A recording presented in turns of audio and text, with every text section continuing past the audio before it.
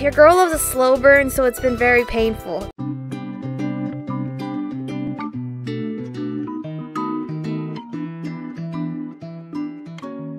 Hello, Aromas. This is Aromie here. Welcome back to our life be be beginning and beginnings and always.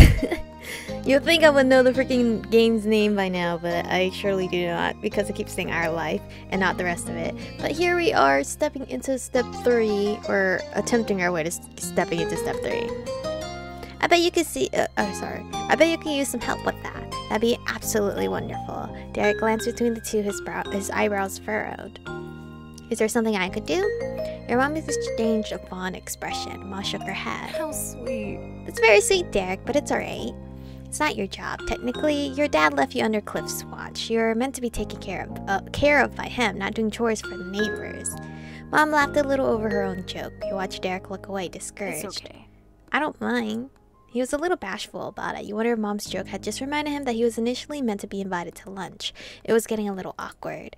Mom grinned sympathetically. Her comment was meant to lighten the mood, not bring it back down. Mom tried again and to get things moving forward. Why don't you kids go have fun? You all can come back in about an hour. We'll make enough for everyone. Mom nodded in agreement. Sounds good. Another stunning idea, Lonnie. Thanks. Thank you. Oh, so cute. That sounds like a plan then. I don't want to cramp your style. I've got some stuff to work on so I can be out of your hair this afternoon. You should come by later too. No reason you should be the odd man out. Mom seemed amused as Cliff rubbed his neck nervously. He grinned a wavering but pleased smile. Thanks very much. I appreciate the invite. He looked over the assembled crowd with knowing glances. I can help too, with as many people as you're feeding. That's going to be a lot of food. Hmm. Didn't you hear what we told Derek? It wouldn't be fair to make you cook when we're the ones who are inviting you in. Ma raised an eyebrow when Cliff waved it off. Come on. I insist. Oh shit. When someone insists, you just gotta deal with it. Derek would be missing time with his pals. This would be a break for me. I'm quite the chef. Ma and Mom exchanged further glances before Mom shrugged. True. An airtight argument. If you're sure, we'll be happy to have you, Chef Cliff. Cliff, Cliff's grin widened and seemed more hyped than you'd expected him to be about helping with lunch. Cliff shook his head, a fond smile on his face. Then all us grown up people will be heading inside. I assume the rest of you kiddos are staying out. Maybe not all of them. Oh, Elizabeth. Yeah, around her age, I wasn't outside anymore. I was inside playing games, you know. Ma her head, a silent question for Elizabeth. Your sister thought for a moment. I'll stay with the kids. Oh shit, really? That's fantastic. I would never have assumed she would do this. Well, their mom smiled at her while Derek and Cliff didn't to appreciate her phrasing. Yeah, like we're, we're only two years younger than you, right? But with the plan decided, all three parents waved and headed for your house. It was just teenagers now. You teenagers. Elizabeth looked at you and the others, a curious expression on her face. So, What now? You silently wonder if Elizabeth only stayed out with you to avoid getting roped into work. Then again, she could just genuinely want to hang out. You couldn't tell with your sister. Cliff spoke up after no one else did to answer Elizabeth's question. Want to go down to the shopping street? It's been a while, and I don't think there's a lot of other things we could agree on. Yeah, sure. awesome. Sounds awesome to me. Unlike you guys, I haven't been there a thousand and one times. It's new to me. Let's do it, okay? If you guys really want to, eh, there's nothing to do. No, let's do it. You strode across the road as a group, down to the beach and then to the left. It took less than 15 minutes to arrive, one of the conveniences of Sunset Bay. The four of you looked around at the familiar shops, trying to see if anything caught your attention this time. Derek was the most enthusiastic. He checked out every stall with his eyes wide with wonder. Elizabeth and Cove were in good spirits as well. That's so cool! They ran over to a street magician who was currently doing a card trick for a group of enchanted tourists. Derek clapped when the magician showed a middle-aged man his card. Derek turned back to the group with a curious gleam on his face. Hmm? What does it take to perform here anyway? Do you have to ask somebody or do you just show up and start doing stuff? Who would you even ask? It's a public street. Hey, Miss Mayor, can I pull a rabbit out of my hat? Please, Flopsy is well behaved, I promise. Derek chuckled, his eyes searching up and down the scene. Maybe? Maybe there's a boss of the shopping street? No one does any of this around my neighborhood. It's just regular stores behind walls.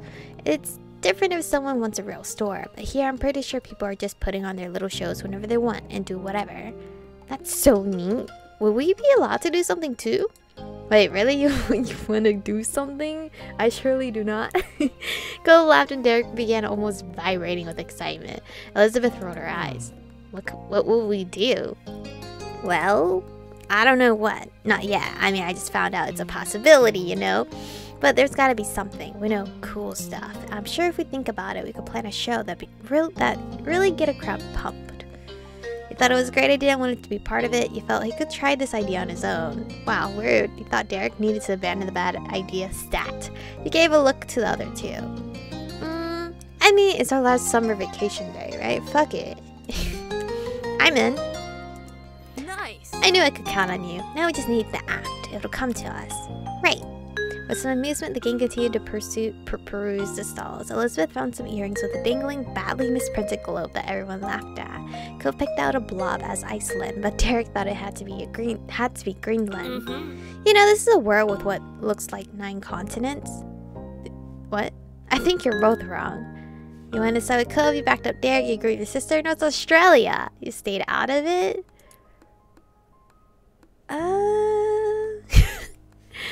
Uh, where the fuck did I save over December? Um, let's joke around. Should we joke around?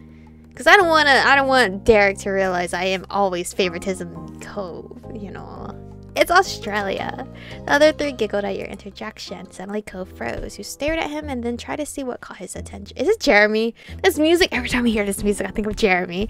We saw a familiar face down the way. It all made sense. Between the oh, no, no, no, no. Between the crowds, his bright hair stood out like a neon green bowl in a kitchen sink. It was Jeremy. Jeremy slowly drifted his eyes. I think this is the last time we'll see Jeremy too. Because then we'll be like in like even older, so he should go back to wherever that place was. Jeremy slowly drifted his eyes down the street, and his eyes widened in mutual recognition. He definitely noticed you. Oh, this time Elizabeth is here. Maybe she'll say something. Derek frowned and Cove tensed up. You couldn't help but remember the last time you seen Jeremy at Miranda's birthday party. No wonder Cove was already defensive.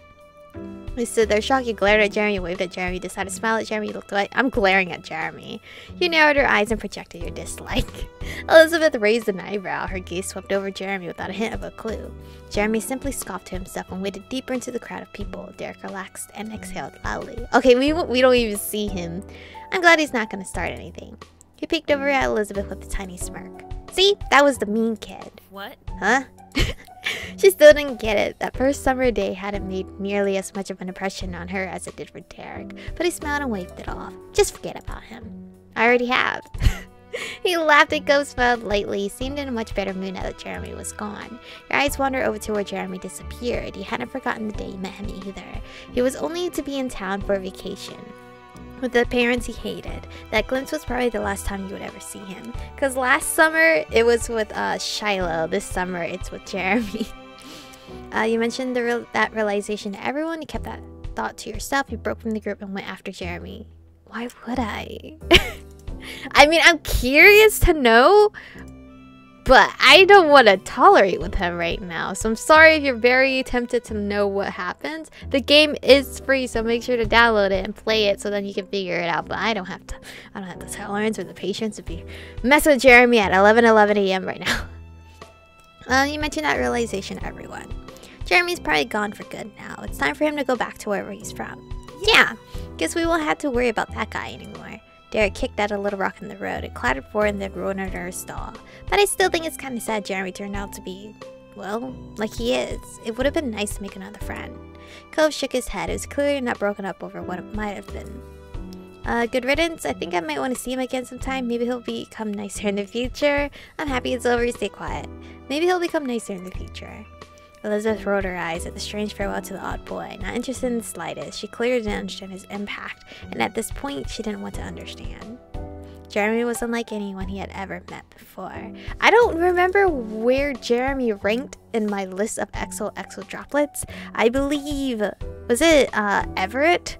The one I hated the most became the one I liked the most. I think if his name was Everett, it, Nate's best friend. You thought he was horrible, you thought he was weird, you thought he was stupid, you thought he was kind of pitiful, you thought he was kind of okay, you didn't know what to think about him. I thought he was stupid.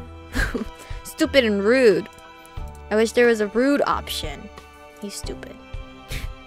You and the group moved on from the stall and from Jeremy. It didn't take long for everyone to return to the joking. Y'all enjoyed what little time you had left, as Elizabeth mentioned the hour was almost up. The little trip had flown by, and our lunch must have been waiting for you now. Derek bounced on the balls of his feet. Okay. Come on, guys, let's get going so we can eat. I'm starving. Uh, if we had to, I can't wait. I have enough walking around. Home, homebound, here we go. You nodded sadly. Nope, I can't wait. Go stretch one of his arms lazily. Let's go then. He looked at you looked at him appraisingly. Asked Cove to carry you back to the house. I could. You guys were telling me you had like cuter um, interactions with him because you guys raised his like uh, crush on you like to the highest, I believe. Like he was actually crushing on you. Your girl loves a slow burn, so it's been very painful.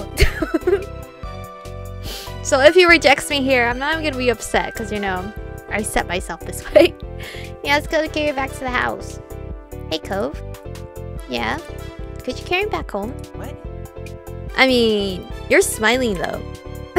As you say what? Cove smiled said he was amused while the tip of his eyebrow was full of disbelief. You explained you wanted a piggyback ride, you didn't want to walk back, you told him it was a special occasion, decided to let it go. Oh, I want a piggyback ride. Is that okay?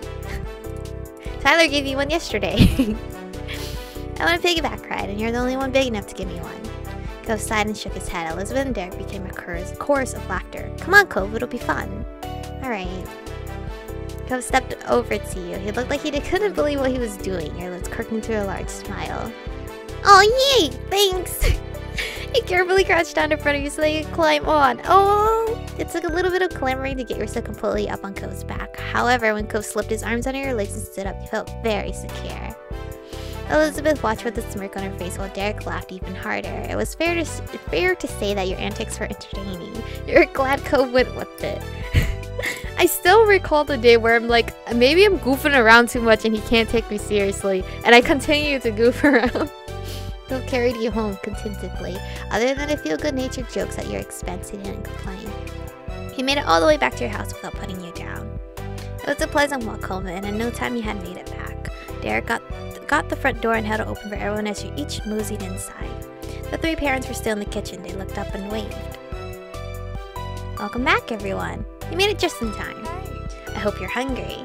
When Cove brought you inside, the parents couldn't help but notice the odd conveyance. Your mom were unsure. Your moms were unsure. Mr. Holden raised an eyebrow. Everything okay? Oh, I guess from this angle it does look like I broke my leg or something. Did you pull something with Chico? I'm okay. Oh, Cove gotten so strong. Good kid. And reliable too, what a guy. Cove rolled his eyes at the commentary, then started walking to your couch. He bent down and let you let yourself plop back on the couch.